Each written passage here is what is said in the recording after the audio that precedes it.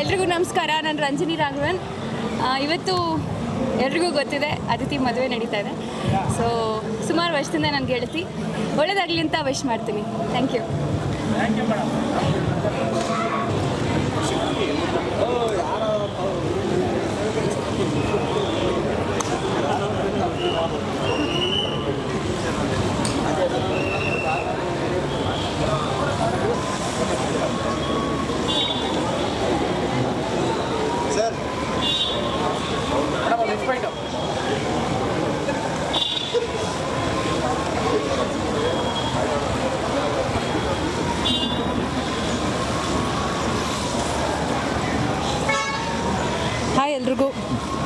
ನಿಮಗೆ ಗೊತ್ತಿದೆ, ಇವತ್ತು ಒಂದು ದೊಡ್ಡ ವೆಡ್ಡಿಂಗ್ ನಡೀತಾ ಇದೆ.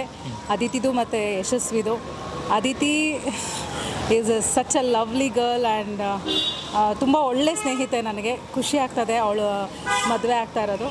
So I wish her all the happiness ಅವ್ರ ವೈವಾಹಿಕ ಜೀವನ ತುಂಬ ಚೆನ್ನಾಗಿರಲಿ ಅಂತ ನಾನು ದೇವರಲ್ಲಿ ಪ್ರಾರ್ಥಿಸ್ಕೋತೀನಿ ಆಶಿಸ್ತೀನಿ.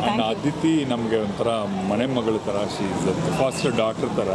ನನಗೆ ಎರಡು ಸಿನಿಮಾದಲ್ಲಿ ನನ್ನ ಮಗಳ ಪಾತ್ರ ಮಾಡಿದ್ಲು. ಇವಳಿಗೆ ಇವಳ ಜೊತೆ ಮೂರು ವರ್ಷ ಸತತವಾಗಿ ಒಂದು ಸಿನಿಮಾದಲ್ಲಿ ಮಾಡಿ.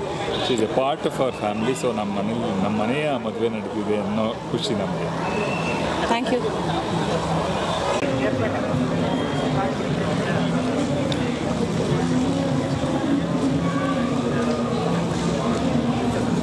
ಎಲ್ಲರಿಗೂ ನಮಸ್ಕಾರ. ಅದಿತಿ ಪ್ರಭುದೇವ ಅವರು ಇವತ್ತು ವೈವಾಹಿಕ ಜೀವನಕ್ಕೆ ಕಾಲಿಡ್ತಾ ಇದ್ದಾರೆ. ಸೊ ಆ ಒಂದು ಸಂದರ್ಭದಲ್ಲಿ ನಾವು ಕೂಡ ಪ್ರೀತಿಯಿಂದ ಮನೆಗೆ ಬಂದು ಇನ್ವಿಟೇಷನ್ನ ನೀಡೋಗಿದ್ರು.